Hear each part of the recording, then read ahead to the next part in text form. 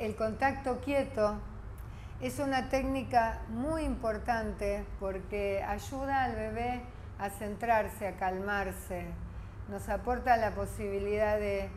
eh, establecer un contacto que es muy profundo.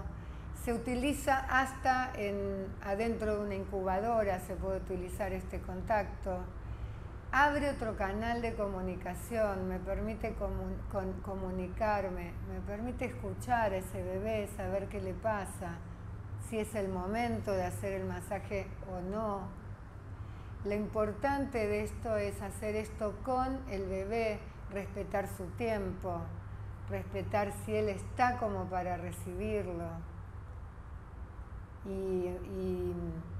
con el bebé no es lo mismo que sobre el bebé sobre el bebé no tengo en cuenta su momento y con él es